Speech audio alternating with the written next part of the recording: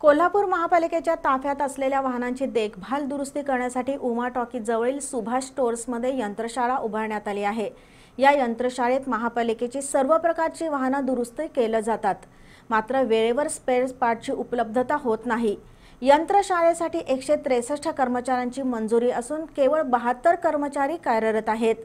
गाड्या दुरुस्त करण्यासाठी केवळ पस्तीस कर्मचारी असल्यामुळे वाहनांची दुरुस्ती करणं अवघड बनलंय. स्पेड पार्ट्ससाठी वेळेवर निधी उपलब्ध करण्याबरोबरच रिक्त जागा भरल्या नाही तर महापालिकेच्या यंत्रशाळेचा कारभार रामभरोसेच राहणार आहे.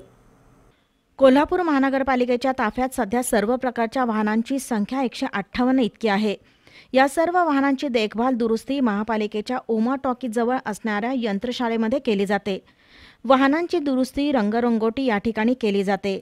या वाहनांपैकी काही वाहनांची कालमर्यादा संपुष्टात आली आहे. तरीही दुरुस्ती करून पासिंग केलं जातं आणि ही वाहनं रस्त्यावर धावण्यासाठी वापरली जातात.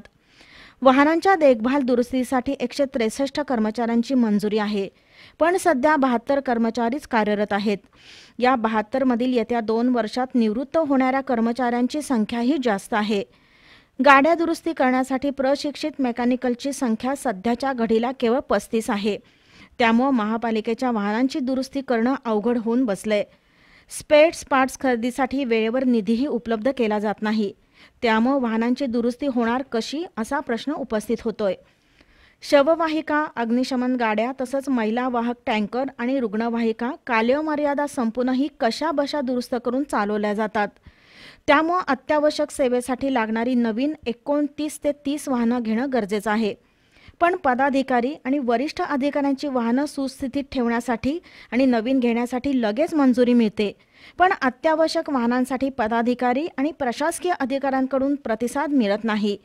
रिक्त पदं भरली जात नाहीत आणि अत्यावश्यक सेवेसाठी नवीन वाहनं खरेदी केली जात नाहीत तर महापालिकेच्या यंत्रशाळेचा गाडा कसा हाकला जाणार असा प्रश्न निर्माण होतोय. बी न्यूजसाठी कॅमेरामन सुनील ठाणेकरसह विजय कुंभार.